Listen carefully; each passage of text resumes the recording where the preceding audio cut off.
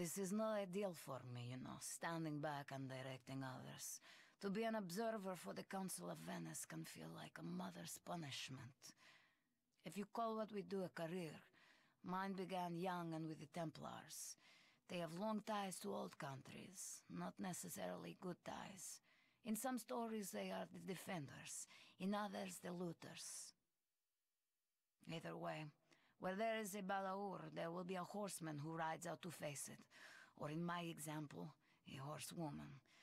Blades against darkness, whatever the cost. Now I only have to look in the mirror to be reminded of the cost. It was the seal on my diplomatic fate.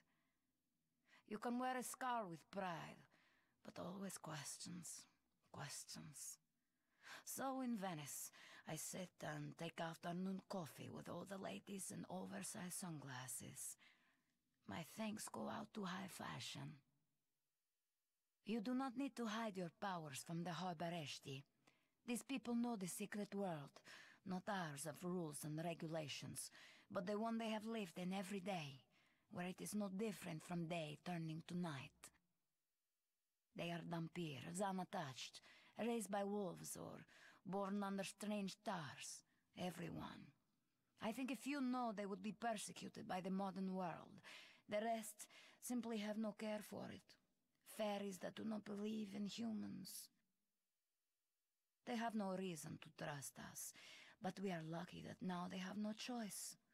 The council knew there was always danger the town would be discovered, exploited.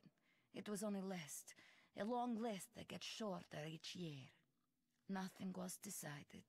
Nothing was done. Let us try to live to regret that. Always some great tragedy that brings me back home. Never to celebrate the spring for a family wedding, to drink with old friends until the morning. I neglect that life now.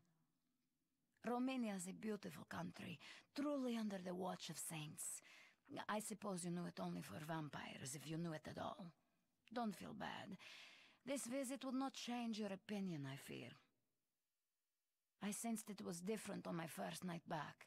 In the cities, the youth and the drugs and the vampires are mixing to bad effect. Too many disappearances, and they blame foreigners, mobsters, this Morninglight religion. Behind it all, the feeling that something slowly is breaking apart and might never be fixed again. It grew stronger the closer I came to Harbaburesti. I know the council cannot act on my feelings, but this valley could be more important than anyone realizes.